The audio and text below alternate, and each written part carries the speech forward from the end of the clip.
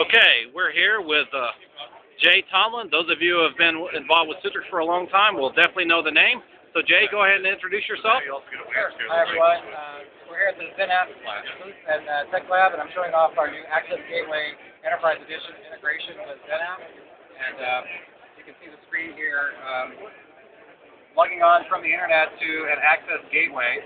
And what this will do is scan the user's machine and based on the results of that endpoint analysis, you'll get access to uh, published applications, and we can also filter out some of the virtual channels like client drive mapping, client printing, client clipboard, uh, based on the results of that endpoint analysis.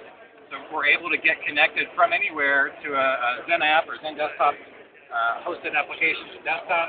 Doesn't require any sort of VPN client. And uh, our smart access features allow us to, uh, to lock the environment down if the user is coming from an untrusted machine. Excellent. So, uh, you know, what are the use cases that people are, you know, for people who have actually purchased this uh, capability? What are some of the use cases?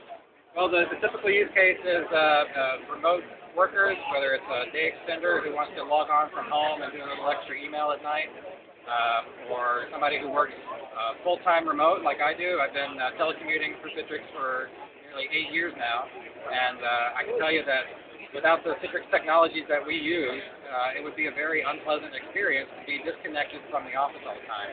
But uh, with the Access Gateway, I use this all day, every day, uh, have for years, and it, it allows me to, to be fully productive no matter where in the world I am. All right. Thank you so much, Jay. Thank you.